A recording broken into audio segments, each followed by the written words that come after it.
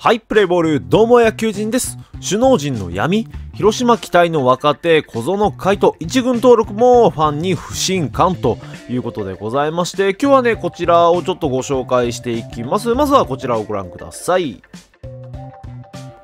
はい、えー、小園海斗が1軍登録へ、広島カープの小園海斗内野手が22日のヤクルト戦から今シーズン初の1軍登録をされることが分かりました。前日はですね、ウエスタンリーグのオリックス戦に先発出場しておりまして、3打数1安打で打率を3割に乗せており、打撃は好調と言えます。不振にあえぐ1軍の起爆剤になると期待を寄せております。まあ現在ですね、えー、広島カップ、順位的にもね、えー、まあちょっと下がってしまいまして、えー、まあ中でも、えー、まあ期待のね、レギュラー陣の不調っていうのが大きいかと思います。そんな中で小園選手本人はですね、えー、結果も内容も求めていきたい。昨日も練習参加のチャンスをもらっているので、またチャンスをもらえるようやっていきたいとアピールを誓っていたようです。試合後に荷物をまとめ球場を去ったドラフト6位、矢野選手と入れ替わると見られるということでございまして、まあ、ここに来てね、え、カープがしっかり入れ替えてきたというお話でございます。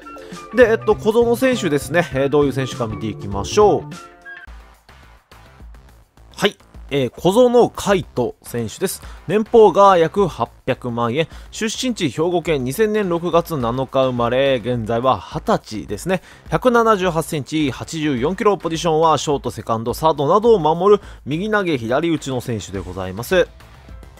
えー、プロ入り3年目を迎える内野手の小園選手、2018年ドラフトで4球団、えー、強豪の後カープに入団いたしました。1年目から1軍で4ホーマーを放つなど活躍しましたが、昨年はわずか3試合の出場に終わっており、今シーズンの飛躍が期待される選手でもございます。そして先ほども言った通り、えー、ウエスさんの成績見ていきましょう。19試合で打率3割、66打数の21安打、ホームラン1本、打点4、えー、三振6つ、えー、ファーボール3つ、盗塁3つ、BBK0.50、えー、スリーリス3割2分9厘 OPS0.743 という成績でございます。まあ、ややね、出塁率率はもうちょっと欲しいところではあるんですが、しっかりね、高打率というのを、えー、キープしておりますので、えー、まあ、ここまで見たらね、え、ー、と、普通の1軍昇格調子良かったから1軍に上がってきたんだなというところなんですが、実はね、ちょっとこの話複雑になっているんですよね。で、こちらをね、えー、見ていただくんですけど、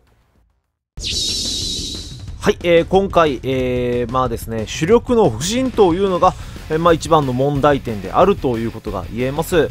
はい、えー、まあ堂林選手、そしてですね、えー、田中選手、この2人、えー、昨年までしっかりとね、レギュラーを務めていた選手なんですが、堂林選手は打率が、えー、と1割8分2厘、66打数の12安打、ホームラン0、打点4、三振20、ファーボール1つ、盗塁1、BBK0.05、出塁率1割9分4厘 OPS が0.406という数字を出しております。まあ、かなり不調ですね。まあ、特に BBK ですね、えー、これを見ますと、えー、まあ、三振が多くてフォアボールが選べないと言われている阪神の佐藤輝明選手よりもさらに低い数字で、えー、まあ、12球団で最下位の BBK を誇っているのがこの堂林選手ですね。でバビップ的に見てもそんなにね、えー、まあ、低くは出ていないので正直上積みっていうのはかなり、えー、まあ、薄いかなっていう印象でございます。まあ、なので、えー、彼の場合はね、早く外した方が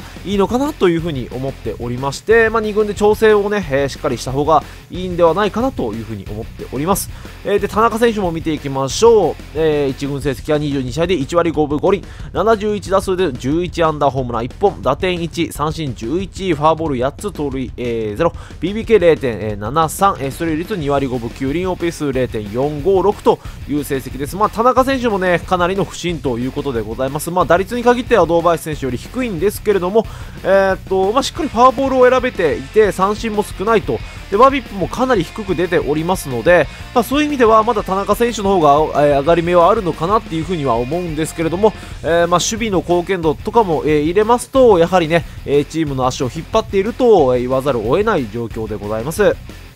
いえー、まあこの2人を開幕から不調でも使い続けているのが今のカープの現状でございます。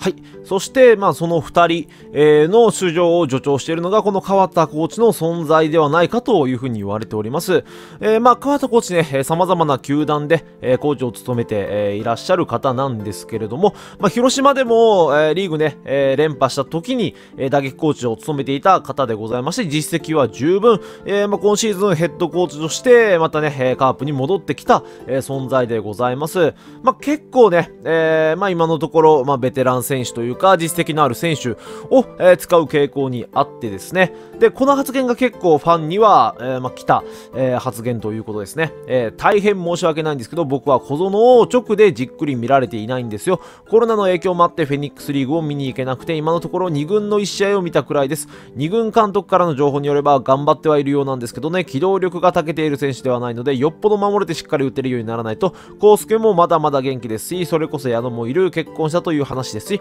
かなり頑張らないとまだまだ鍛錬が必要なんじゃないですかね、ということでございまして、えー、まあ現在ね、えー、不調の、えー、まあ一軍、えー、田中選手や堂林選手がいるにもかかわらず、えー、その、えー、2軍でね、えー、打っている筆頭の小園選手の、まあ、存在をね、まあまあ全然、えー、目にも留めていないというか、眼中にないっていうね、えー、取れる発言をしてしまって、結構、えー、まあ燃えていたということです。はい、えー、ファームで調子良くても、川田ヘッドコーチの謎の思考で上げてもらえないことのさすがにかわいそう見ていないから何？そこは2軍の首脳陣がプッシュしてやれやというコメントや、えー、川田はまだ田中田中言うてんのか、ショートが今後数十年大きな、えー、穴になるぞ、えー、こんなこと、え、していたらということでございまして、えー、まあこのようなね、え、まあ結構、まあツイッターやネット上で、まあバッシングの嵐ということがね、まあまず経緯としてございました。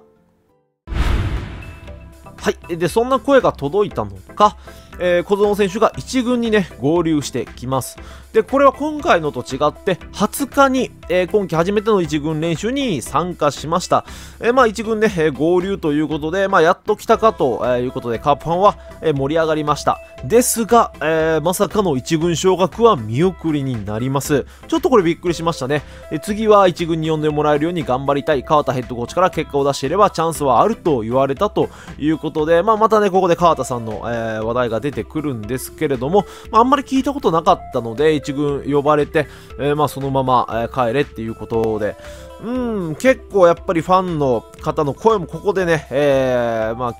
非難を浴びせられていたのかなというところでございます。ですが、はい、これで一ちゃん最初に戻ります。で、一点、翌日に一軍昇格ということでございまして、はじめにね、お話しした、えー、まあ、今回の一軍昇格に、えー、また一点ね、えー、つながるということでございますので、もうここもちょっとわかんないですよね。どういうことなのって。え、じゃあなんで一回見送ったのっていうね。うん、まあ本当に結構首脳陣もなんかちぐはぐというか、うん、どういうことなんだろうということで、まあ広島ファンも結構ね混乱しているようでございます。えー、わらわらわら、小園今日から一軍らしいですわ。ただただ意味不明な首脳陣です。意味がわからんことが起きたけど、結果的に小園が一軍に上がってよかった。小園が一軍に上がれるときは、スタメンの約束は守れよと、えー、いうことでございまして、えー、まあ、こういったね、ファンの、えー、方、えー、から首脳陣に、え球団に不信感が生まれる結果となってしまった、えというのが、まあ、今回のお話でございます。